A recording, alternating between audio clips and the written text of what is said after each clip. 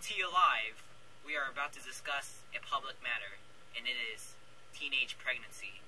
Right now, we have to take care of this problem because teenagers over 15 to 19 are going to deal with healthcare, abortion, adoption, and mainly the child's future. This is what happened on the news. Oh my god, this baby's too big. Maybe I should just go. Wait, should I go to school?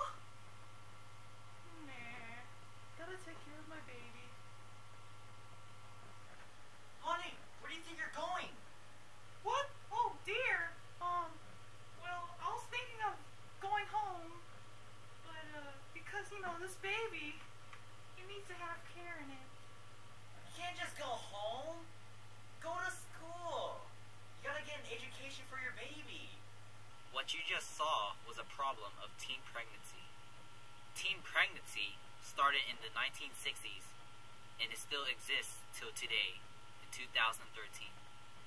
Even now, this problem has existed till today because people are having unwanted sex, well, actually, wanted sex, unprotected sex, because they won't use condoms, or as you can say, contraceptive items.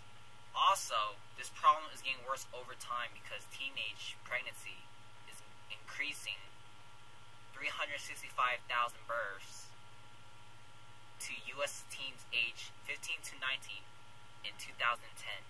And right now, it is increasing by a large amount in 2013. What we people can do is to teach these teenagers about abstinence and the protection you must have when you do it, and also the consequences of it. Anyone can help. Just try. If you see a person that's about to, you know, if they're about to have sex, like I don't know how you know, but but if you know, then just tell them that are you ready? Like, you know, like try to convince them if they're making the right choice. And parents, teach your kids about sex. Don't be embarrassed. Everyone does it when well, not everyone, but teenagers need to know. So help them. So they can know that so they won't get pregnant at an early age. As a news reporter, I feel strongly about this because teenage pregnancy isn't isn't that good.